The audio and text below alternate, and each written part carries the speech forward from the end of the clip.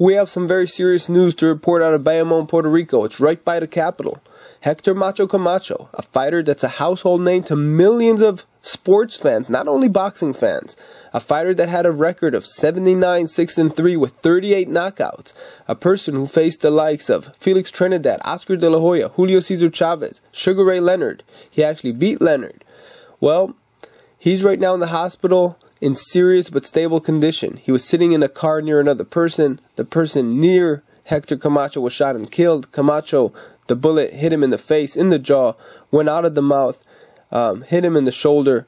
Uh, doctors don't know if he'll be paralyzed. People close to Camacho say, are saying that if anybody could come back from this, it's Hector Macho Camacho. He's 50 years old right now. He was looking for a fight to make a comeback two years ago. It made a lot of noise, but the fight never happened. Um, now at 50, he was still looking for a fight. He was training. Um, but this is very serious. It's sad. Let's see if uh, he could come back from this. As you guys know, when Camacho was fighting, he had his own demons that he was battling out of the ring uh, drugs, alcohol, uh, brushes with the law.